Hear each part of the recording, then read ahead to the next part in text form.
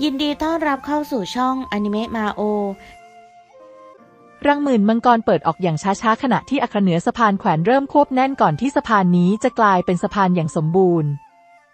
จนถึงตอนนี้มียอดฝีมือเผ่ามังกรตกตายลงไปแล้วกว่าสามส่วนเป็นอย่างน้อยคนอื่นๆ นั้นมีร่างที่อับไปด้วยเลือด และมีบางคนที่แขนขาขาด แต่ทว่าสายตากลับอัดแน่นไปด้วยความแน่วแน่ และไม่เกรงกลัวสิ่งใด เมื่อมองไปทางคนเหล่านี้ก็ทำให้นักรบโลหิตมังกรต่างรู้สึกใกล้ชิดกับพวกเขาเพราะว่านี่คือนักรบตัวจริง มันเป็นสงครามในการผงาดขึ้นมา และเมื่อได้รับการเกิดใหม่ ก็จะทำให้อนาคตของพวกเขาไร้ขีดจำกัด พวกเราชนะแล้วพวกเราได้รับการยอมรับจากบรรพชนแล้วพวกเราไม่ใช่ขยะอีกแล้ว พวกเราใช้ความแข็งแกร่งของพวกเราบอกกับบรรพชนว่าพวกเราพร้อมที่จะสละเลือดและชีวิตให้กับเผ่ามังกร พวกเราพร้อมที่จะแบกรับภาระของเผ่ามังกรแล้ว มื่ออย่างยกหอกขึ้นมาขณะที่ส่งเสียงกู่ร้องอย่างดัง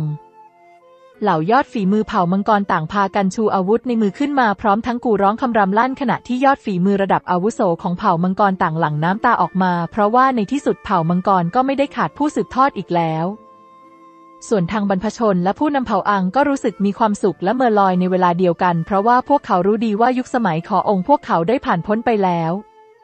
หลังจากนี้จะเป็นยุคของคนรุ่นเยาว์เหล่านี้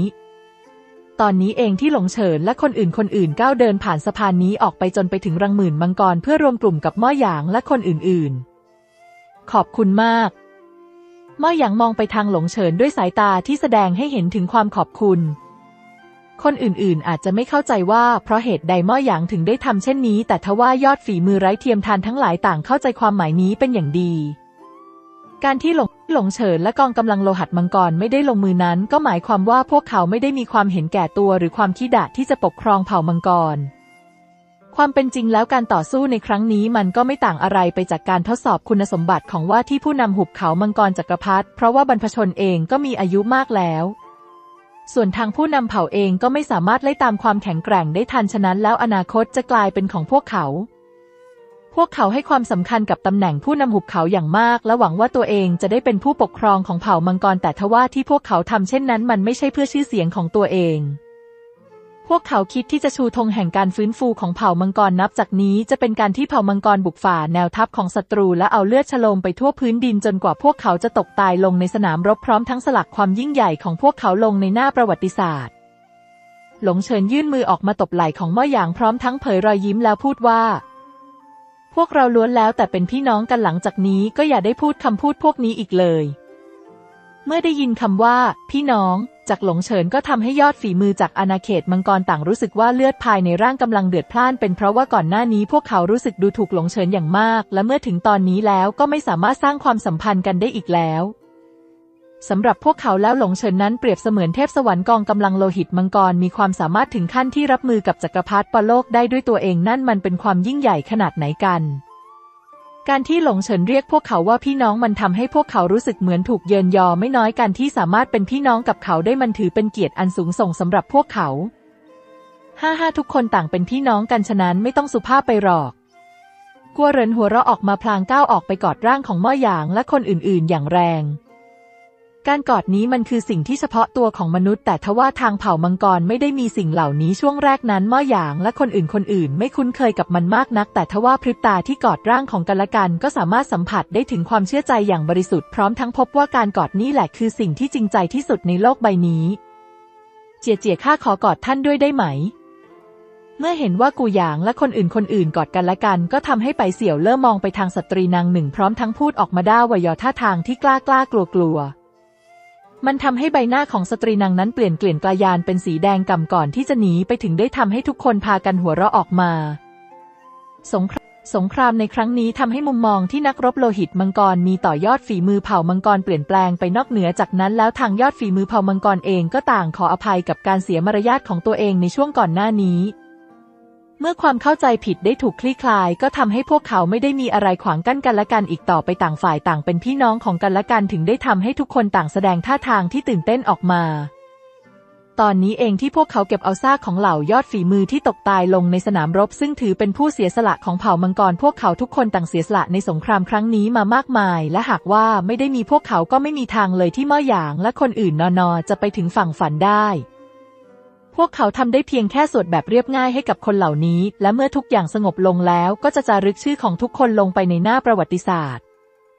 ถึงแม้ว่าจะเสียสละชีวิตของยอดฝีมือที่มีพรสวรรค์ไปมากมาย แต่ทว่าทุกสิ่งก็เพื่ออนาคตทุกการเสียสละนั้นคุ้มค่า และจะทำให้อนาคตของเผ่ามังกรสว่างไสวัยไปกันเถอะพวกเราเข้าไปด้านในแล้วมาดูกันว่าท่านผู้อาวุโสทิ้งสมบัติอะไรเอาไว้ให้กับพวกเราข้าทนรอไม่ไหวแล้ว กัวเหรินถูมือด้วยท่าทางที่ตื่นเต้น ยอดฝีมือเผ่ามังกรคนอื่นเองก็เป็นแบบเดียวกันแต่ทว่าหลังจากที่ก้าวเข้าไปแล้วพวกเขาก็ได้แต่แสดงสีหน้าที่หวาดผวาออกมา หลังจากที่ก้าวผ่านประตูทางเข้าไปก็พบกับห้องโถง แต่ทว่ามันเป็นห้องโถงที่กว้างมาก และไม่มีสิ่งก่อสร้างใดมันมีเพียงแค่ประตูกว่าหลายพันบานที่แต่ละบานมีม่านพลังขวางกั้นเอาไว้ เมื่อได้เห็นม่านพลังมากมายเหล่านี้ ก็ทำให้ทุกคนต่างรู้สึกใจสั่นและนึกย้อนกลับไปถึงภาพเหตุการณ์บนสะพานแขวนก่อนหน้านี้ด้วยสีหน้าที่หวาดหวัน่น มีม่านพลังมากมายขนาดนี้นี่พวกเราต้องสู้อีกมากมายขนาดไหนกันกัวเรินและคนอื่นๆ ตกตะลึงไม่ต่างกัน พวกเจ้าไม่ต้องกลัวไปหรอกม่านพลังแต่ละแห่งล้วนแล้ว แต่เป็นโลกใบเล็กใบหนึ่งทว่าภายในโลกใบเล็กเหล่านี้เองก็ไม่รู้เลยว่ามีประตูอยู่อีกมากขนาดไหนภายในประตูเหล่านี้ล้วนแล้วแต่ผนึกสมบัติของเผ่ามังกรเอาไว้ มันมีทั้งทักษะเทวอาวุธและโลหิตบริสุทธิ์ซึ่งนอกเหนือจากนั้นก็ยังมีหลายสิ่งที่พวกเจ้าไม่สามารถจินตนาการได้ สรุปแล้วคือสิ่งที่ถูกเก็บเอาไว้ที่นี่ได้ล้วนแล้ว แต่ล้ำค่าไม่เช่นนั้น ก็ไม่มีคุณสมบัติที่จะอยู่ที่นี่ได้ เพราะถึงอย่างไรนี่ก็เป็นเหมือนเมล็ดพันธุ์ความหวังในการฟื้นฟูเผ่ามังกรประตูแต่ละบานเป็นตัวแทนของโลกใบเล็กแต่ละใบภายในโลกใบเล็กแต่ละใบเองก็มีวิญญาณวีรชนคอยปกป้อง มี เพียงแค่การเอาชนะพวกเขาได้เท่านั้นถึงจะทำให้ประตูทางเข้าเปิดออกยิ่งไปกว่านั้นคือยังไม่มีอันตราย เพราะหากว่าเอาชนะไม่ได้ก็ยอมแพ้ได้ทันที เพียงแค่ว่าหากยอมแพ้ไปแล้วก็ต้องใช้เวลาสามวันถึงจะสามารถทดสอบได้อีกครั้ง หลงเฉินพูดออกมา เมื่อผู้คนได้ยินเช่นนั้นก็มีกำลังใจขึ้นมาโดยทันทีเมื่อไม่มีอันตรายก็สามารถท้าทายได้ทุกเมื่อ เหนือม่านพลังแต่ละแห่งล้วนแล้ว แต่มีอัครมังกรอยู่ด้วยพวกเจ้าจะสามารถสัมผัสถึงพลังของมันได้ หากว่ามันสื่อถึงเจ้าก็หมายความว่าสมบัติที่อยู่ภายในนั้นสอดคล้องกับเผ่าของเจ้า หลงเฉินพูดออกมาข้าสัมผัสได้ ยอดฝีมือคนหนึ่งส่งเสียงโห่ร้องออกมาพร้อมสัมผัสถึงการเรียกหาอย่างรุนแรงถึงได้ก้าวออกไปทางม่านพลังนั้นอย่างรวดเร็ว หลงเฉินโห่ร้องออกมาอย่างดังว่า ช้าก่อน อย่างไรก็ตามพริบตาที่เขาพุ่งออกไปก็เป็นตอนที่ม่านพลังสันสถานพร้อมทั้งทำให้อีกฝ่ายกระอักเลือดออกมาไม่หยุดขณะที่ร่างลอยเคว้งออกไปยังสะพานด้านนอก หลงเฉินแสดงท่าทางที่หมดคำพูดพลางพูดขึ้นว่า ฟังข้าพูดให้จบเสียก่อนมันไม่ใช่ว่าทุกคนจะสามารถท้าทายม่านพลังเหล่านี้ได้หมด ก่อนที่จะท้าทายก็ต้องหยดโลหิตบริสุทธิ์ลงไปภายในม่านพลังนี้เสียก่อนหากว่ามันมีอัครมังกรปรากฏขึ้น ก็หมายความว่าเจ้ามีคุณสมบัติในการท้าทายมัน ไม่เช่นนั้นหากว่ามันไม่ตอบสนองอะไรก็หมายความว่าเจ้าไม่มีคุณสมบัตินั้นข้าขอลองดูหน่อย ชื่อหูเฟิงก้าวออกมา ทว่าเจ้าพิ่งจะผ่านการต่อสู้ ยอดฝีมือมากมายต่างพูดออกมา ไม่เป็นไรร่างกายของข้าฟื้นฟูกลับมากว่าแปดส่วนแล้วยกหน้าที่สำรวจเส้นทางนี้ให้ข้าเอง ชื่อหูเฟิงก้าวออกไปตรงหน้าม่านพลังที่มีพลังอัคคีกำลังหมุนวน ซึ่งแม้จะเป็นคนนอกก็พอที่จะเดาได้ว่ามันเป็นม่านพลังที่มีความเกี่ยวพันกับธาตุอัคคีทันใดนั้นเองที่ชื่อหูเฟิงได้หยดโลหิตบริสุทธิ์ของเขาลงไป อย่างไรก็ตามสิ่งที่ทำให้ผู้คนตกตะลึงได้เกิดขึ้นเมื่อโลหิตบริสุทธิ์นี้ถูกขับกลับออกมา อะไรกัน ผู้คน ผู้คนพากันแสดงท่าทางที่ตกตะลึงออกมา เพราะขนาดตัวตนอย่างชื่อหูเฟิงเองก็ยังไม่มีคุณสมบัตินั้นหรือ เมื่อได้เห็นผลลัพธ์นี้ก็ทำให้ทุกคนต่างพากันแสดงสีหน้าที่ตกตะลึงออกมาแบบเดียวกันไม่เว้นแม้กระทั่งตัวของชื่อหูเฟิงเองก็ด้วย ตัวตนที่แข็งแกร่งขนาดเขากลับไม่มีคุณสมบัติในการท้าทายเสียได้ข้าจะช่วยเหลือเจ้าเองแล้วค่อยลองอีกรอบ ทันใดนั้นเองที่บรรพชนผังกรังข้าวก็ออกมาพร้อมทั้งยื่นมือออกไปแต่แผ่นหลังของชื่อหูเฟิงพลางส่งถ่ายพลังออกไปทำให้สภาวะพลังของเขาแข็งแกร่งทรงพลังมากยิ่งขึ้น ในที่สุดเขาก็ฟื้นฟูกลับมาอยู่ในสภาพที่พร้อมรบอย่างสมบูรณ์ นี่คือทักษะลับของเผ่ามังกรขาวที่มีเอาไว้สำหรับการช่วยเหลือให้ฟื้นฟูพลังได้อย่างรวดเร็ว เมื่อได้รับพลังนี้ก็ทำให้ชื่อหูเฟิงมีความมั่นใจมากยิ่งขึ้น พร้อมทั้งหยดโลหิตบริสุทธิ์ลงไปอีกครั้ง ทันใดนั้นเองที่ม่านพลังได้สั่นสถานก่อนที่จะมีอักขระอัคคีปรากฏขึ้นมาเหนือม่านพลังนี้ ผ่านแล้ว ผู้คนโห่ร้องออกมาเพราะการปรากฏตัวของอักขระนี้คือการเปิดประตูสู่โลกใบใหม่ให้กับพวกเขา ทุกคนรอฟังข่าวดีจากข้าได้เลย ชื่อวูเฟิงเอามือตบหน้าอกของตัวเองพร้อมทั้งก้าวเดินออกไปทางม่านพลังอย่างไม่รอช้า หลังจากนั้นเขาก็ยื่นมือเข้าไปสัมผัสที่อักขระตรงหน้า อักขระนี้สั่นสะท้านและสร้างเป็นวังวนขึ้นมาก่อนที่จะกลืนกินร่างของเขาเข้าไป ตอนนี้เองที่ม่านพลังนี้เริ่มโปร่งแสงขึ้นมา และเผยให้เห็นภาพเหตุการณ์ด้านหลังม่านพลังนี้ ผู้คนพากันโห่ร้องออกมาอย่างดัง เพราะเมื่อมองผ่านม่านพลังออกไปก็จะพบกับลานประลองอันเก่าแก่โบราณ ซึ่งเหนือลานประลองนี้มีร่างร่างหนึ่งยืนอยู่ด้วย เมื่อได้เห็นร่างร่างนี้ก็ทำให้หัวใจของพวกเขาสั่นสะท้านไม่หยุด ส่วนทางชื่อวูเฟิงที่เข้าไปพร้อมกับความมั่นใจที่เต็มเปี่ยมก็มีใบหน้าที่ถอดสีเช่นเดียวกัน นี่คือร่างที่สูงใหญ่และผมยุ่งเหยิงไปหมดถึงได้ไม่สามารถมองเห็นรูปลักษณ์ที่แท้จริงของเขาได้แต่ทว่าก็พอที่จะบอกได้ว่าเขาเป็นบุรุษ แต่สภาวะพลังที่ส่งออกมานั้นเป็นถึงยอดฝีมือขอบเขตกษัตริย์เทวะ นี่คือกษัตริย์เทวะที่แท้จริงร่างกายอัดแน่นไปด้วยพลังปราณโกลาหลแรกเริ่ม ซึ่งแรงกดดันที่แข็งแกร่งทรงพลังนี้ทำให้แม้ว่าจะอยู่ห่างจากม่านพลัง แต่ก็ยังทำให้ผู้คนรู้สึกว่าร่างกายได้ถูกภูเขาลูกใหญ่กดทับร่างเอาไว้ ไว้ทว่าทางชื่อวูเฟิงที่ยืนอยู่ภายในลานประลอง และแบกรับแรงกดดันนี้ ก็ทำให้ร่างกายของเขาสันสถานไม่หยุดเขาไม่ได้เกรงกลัว แต่ทว่ามันเป็นเพราะว่าแรงกดดันทางจิตวิญญาณและสายเลือด นี่มันเป็นไปได้อย่างไรกัน ทุกคนต่างพากันแสดงท่าทางที่ตกตะลึงออกมา เพราะว่าจะให้เซียนสวรรค์ท้าทายกษัตริย์เทวะเช่นนี้ยิ่งไปกว่านั้นคือยังเป็นยอดฝีมือขอบเขตกษัตริย์เทวะจากยุคโกลาหลแรกเริ่มแล้วนี่พวกเขาจะมีโอกาสได้อย่างไรกัน อย่าว่าแต่ลงมือเลยลำพังเพียงแค่ความคิดของอีกฝ่ายก็มากพอที่จะทำให้ดวงวิญญาณของชื่อวูเฟิงแตกกระเจิงได้แล้ว เมื่อชื่อวูเฟิงเข้าสู่ลานประลองก็ทำให้ลานประลองนี้สั่นสะท้านก่อนที่ร่างๆนั้น จะสั่นสะท้านแบบเดียวกันเสื้อผ้าของเขายังคงไม่สั่นไหวขณะที่ผมเผ้าที่ยุ่งเหยิงเริ่มเผยให้เห็นใบหน้าที่ถูกบดบังอยู่ด้านใน นี่คือชายวัยกลางคนที่มีใบหน้าที่เคร่งขรึมเขาลืมตากลับขึ้นมาอย่างช้าๆ และแม้จะเป็นผู้คนที่อยู่ด้านนอกม่านพลัง แต่เมื่อได้สบสายตาก็ทำให้รู้สึกว่าดวงวิญญาณถึงกับสั่นสะท้าน เป็นสภาวะพลังที่ทรงพลังอย่างมาก นักรบโลหิตมังกรทั้งหลายถึงกับกระสุดหาใจเข้าลึกไปไม่ได้ เพราะว่าอย่าว่าแต่เรื่องที่ให้สู้กับตัวตนที่แข็งแกร่งทรงพลังขนาดนี้เลยลำพังเพียงแค่ยืนอยู่ตรงหน้าของอีกฝ่ายก็ต้องใช้ความกล้ามากแล้ว อีกฝ่ายมองไปทางชื่อวูเฟิงเล็กน้อยก่อนที่อัครทั่วร่างจะส่องสว่างออกมาทำให้รัศมีบารมีของกษัตริย์เทวกวาดออกไป และส่งผลให้ทั้งลานประลองนี้สั่นสถานไม่หยุด มันทำให้ชื่อวูเฟิงรู้สึกราวกับว่าร่างกายได้ถูกภูเขาทั้งลูกกดทับเอาไว้จนไม่สามารถเคลื่อนไหวอะไรได้กระดูกทั่วร่างของเขาแทบที่จะถูกป่นจนแหลกละเอียดเลยด้วยซ้ำมันทำให้เขารู้สึกเดือดดานเสียเหลือเหือเหลือเกิน เพราะว่าคู่ต่อสู้ที่แข็งแกร่งขนาดนี้มันล้อเล่นหรืออย่างไรกัน ใครบ้างที่จะสามารถเอาชนะอีกฝ่ายได้กัน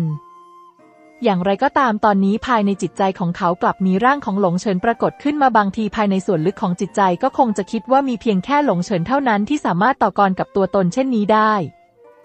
ในตอนนี้ยอดฝีมือเผ่ามังกรทั้งหลายต่างแสดงท่าทางที่สิ้นหวังออกมาพวกเขาเสียสละผู้คนไปมากมาย เพื่อที่จะเปิดประตูทางเข้ารังหมื่นมังกรนี้ แต่กลับต้องเผชิญหน้ากับการโจมตีอาย่างจังที่ทำให้พวกเขาถึงกับเมื่อลอยไปหมดหมด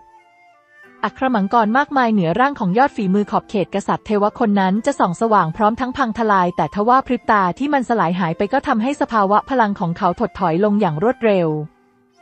จากที่เคยมีเส้นชีพจะรกสัตว์เก้าเส้นก็ลดน้อยลงอย่างต่อเนื่องถึงได้ทำให้สายตาที่แสดงให้เห็นถึงความสิ้นนอหวังของชื่อวูเฟิงกลับมามีความหวังอีกครั้งที่แท้ก็เป็นเช่นนี้นี่เองมันเป็นการทดสอบตามระดับความแข็งแกร่งของผู้ท้าชิงเช่นนี้ก็เยี่ยมไปเลย ยอดฝีมือจากทางอาณาเขตมังกรต่างเข้าใจกฎของการท้าชิงนี้อย่างสมบูรณ์ หลังจากที่สิ้นหวังก็มองเห็นความหวังมันเป็นความรู้สึกที่ทำให้เลือดภายในร่างของพวกเขาเดือดพล่าน และมีจิตวิญญาณแห่งการต่อสู้ที่ลุกโชน เมื่อสภาวะพลังของยอดฝีมือขอบเขตกษัตริย์เทวะลดลงเหลือขอบเขตเซียนสวนสวรรค์ก็เป็นตอนที่ฝ่ามือของเขาสั่นสะท้านและมีดวงตาที่เปล่งประกายพลางมองไปทางชื่อหูเฟิงด้วยสายตาที่เย็นชาและไม่ได้ปริปากพูดอะไร เห็นได้ชัดว่าเขาพร้อมสำหรับการต่อสู้แล้ว ชื่อหูเฟิงที่เห็นเช่นนั้น ก็ทำความเคารพให้กับอีกฝ่าย พร้อมทั้งเรียกเอาวงแหวนแห่งโชคชะตาออกมากลางหลังพลางเผยให้เห็นภาพร่างของมังกรแดงปรากฏขึ้นมา เปลวเพลิงแผดเผาม่านสวรรค์ก่อนที่ทั้งลานประลองแห่งนี้จะถูกเปลวเพลิงหลักฐานชีวิตปกคลุมเอาไว้ด้วยอุณหภูมิความร้อนที่ทำให้แม้จะรับชมอยู่ด้านนอก แต่ก็ยังสัมผัสได้ถึงมันอย่างชัดเจนเยี่ยมมากเปลวเพลิงมังกรแดงเกื้อหนุนร่างเขาจะต้องผ่านมันไปได้อย่างแน่นอน ยอดฝีมือเผ่ามังกรแดงที่เห็นเช่นนี้ก็อดส่งเสียงโห่ร้องออกมาไม่ได้ พวกเขารู้ดีว่าชื่อวูเฟิงนั้นแข็งแกร่ง แต่ทว่าจุดอ่อนร้ายแรงคือการหน่วงพลังที่ใช้เวลานาน และสามารถถูกขัดได้ง่าย ๆ ฉะนั้นแล้วเขาถึงได้มีคู่หูที่แข็งแกร่งทรงพลังคอยถ่วงเวลาให้กับเขาอยู่เสมอ ทว่าเมื่ออยู่บนลานประลองนี้แล้วก็จะทำให้จุดอ่อนถูกเปิดเผยออกมาได้ง่ายยิ่งขึ้นอย่างไรก็ตามยอดฝีมือเผ่ามังกรขอบเขตกษัตริย์ชเวคนนั้นกลับไม่ได้ฉวยโอกาสโจมตี และปล่อยให้เขาได้เข้าสู่สภาวะที่แข็งแกร่งที่สุด นี่ทำให้ความมั่นใจของยอดฝีมือเผ่ามังกรแดงเพิ่มมากยิ่งขึ้น พวกเขา เขาพอที่จะคาดเดากฎของการประลองได้แล้วว่า ไม่ว่าจะเป็นยอดฝีมือขอบเขตพลังใด แต่ตราบเท่าที่ก้าวเข้าไปภายในลานประลอง ก็จะปรับระดับพลังให้อยู่ในขอบเขตพลังเดียวกันนี้เป็นการประลองที่ยุติธรรมชื่อวูเฟิงเข้าสู่สภาวะพร้อมรบอย่างเต็มกำลังโดยที่เปลวเพลิงของเขาเผาไม่ม่านสวรรค์ขณะที่หอกมังกรในมือส่งเสียงฟ้าร้องคำรามลั่นและชี้ออกไปทางฝ่ายตรงข้าม ทว่าทางยอดฝีมือขอบเขตกษัตริย์เวเองก็ยังคงยืนนิ่งไม่ไหวติง โดยที่ข้างกายมีหอกสีทองอารามตั้งตระหง่านอายุกับที่ด้วยท่าทางที่ไม่ได้คิดที่จะลงมือแม้แต่น้อย ท่านผู้อาวุโสลูกหลานนอกตันยูนามว่าชื่อวูเฟิงขอให้ท่านช่วยชี้แนะ ชื่อวูเฟิงส่งเสียงออกมาอย่างดัง เมื่อต้องเผชิญหน้ากับดวงวิญญาณวีรชน ก็ทำให้เขาคงความรู้สึกยำเกรงต่ออีกฝ่าย อย่างไรก็ตามหลังจากที่เขาทำเช่นนั้นก็พบว่าอีกฝ่ายก็ยังคงแน่นิ่งอย่างเคยอีกฝ่ายมองกลับมาทางเขาด้วยสายตาที่เย็นชาแต่กลับไม่ได้มีสีหน้าท่าทางความรู้สึกใด ๆ แม้แต่น้อย ศิษย์ต้องขอเสียมารยาทหลังจากนั้นชื่อหูเฟิงก็ทำความเคารพอีกครั้งพร้อมทั้งพุ่งออกไปอย่างไม่รอช้าแม้ว่าเขาจะรู้สึกยำเกรงอีกฝ่ายอย่างมาก แต่ก็ยังลงมืออย่างเต็มกำลังโดยที่ไม่ได้ยั้งมือแม้แต่น้อย เสียงมังกรกู่ร้องคำรามลั่นส่งออกมาอย่างดังขณะที่หอกนี้พวยพุ่งพุ่งออกไปราวกับเป็นคลื่นอัศนีพลางปรากฏภาพร่างของชื่อหูเฟิงขึ้นนับไม่ถ้วน ช่างเป็นทักษะการเคลื่อนไหวที่พิศวงจริง ๆ ขนาดว่าเป็นยอดฝีมือเผ่ามังกรด้วยกันเองก็ยังอดปรบมือให้กับทักษะนี้ไม่ได้มันเป็นการเคลื่อนไหวในการป้องกันและโจมตีไปในตัว มีทั้งความเร็วและความช้าซึ่งสามารถเรียกได้เลยว่าเขาในตอนนี้นั้นไร้ที่ติเลยก็ว่าได้ เมื่อชื่อหูเฟิงเข้าใกล้ร่างของยอดฝีมือขอบเขตกษัตริย์เทวะก็ทำให้ร่างของอีกฝ่ายหายตัวไปอย่างฉับพลันพอลางมีเสียงระเบิดส่งตามออกมา